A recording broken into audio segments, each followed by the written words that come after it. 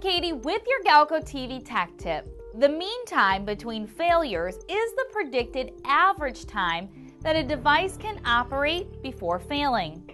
This calculation does not include repair times and is only meant to display how likely a unit is to fail within a certain period of time. They are usually rated in hours, such as 50,000 or 300,000 hours.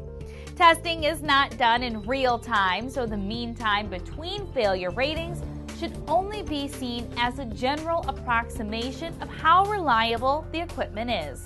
For more tech tips, make sure you check out our other videos on GTV.